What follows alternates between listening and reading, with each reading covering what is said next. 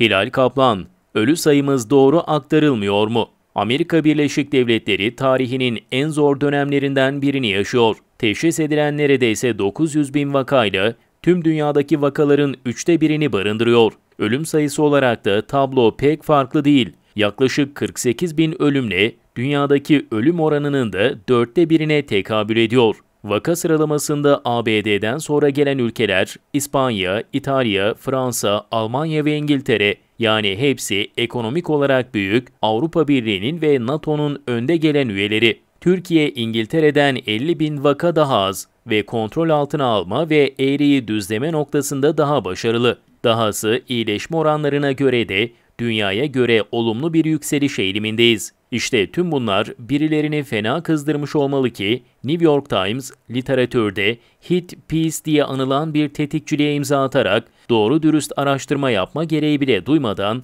ülkemizi karalayan bir makaleye imza attı. Türkiye'de gerçek koronavirüs rakamlarının açıklanmadığını ileri süren haberde İstanbul'da 9 Mart 12 Nisan tarihlerinde son 2 yılın ortalamasına kıyasla 2100'den fazla ölüm yaşandığını belirtip devletin ölü sayısını gizlediğini iddia etti. Sağlık Bakanı Fahrettin Koca da Türkiye'deki son 5 senedeki ölüm oranı artışı %2,89 ile kıyaslanırsa ortada matematiksel açıdan bir boşluk olmadığını, 30 Mart'tan itibaren İstanbul'da vefat edenlerin şehir dışına gömülmesinin yasaklanmasından ötürü İBB kayıtlarındaki ölüm sayısının daha yoğunlaştığını belirtti. Zira eskiden İstanbul'da ölenlerin üçte birinin cenazesi memleketlerine gömülür ve orada kayda geçerdi. En önemlisi madem iddia ettiğiniz kadar vaka ve ölü sayısı var, o zaman yatak doluluk oranımız neden %30'u geçmedi diye sorarak şu gurur verici çağrıyı yaptı. Biz Amerika değiliz,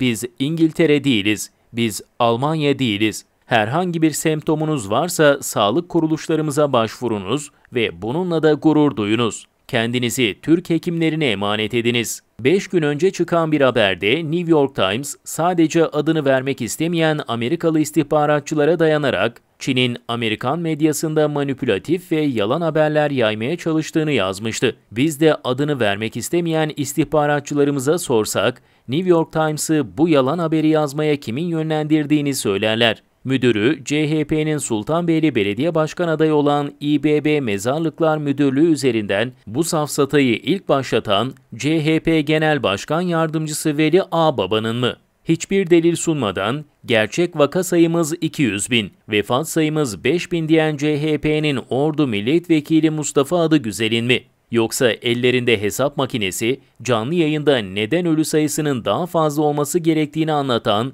kindaş yorumcuların mı? Belki de farkında olmadığımız başka kaynaklar da vardır.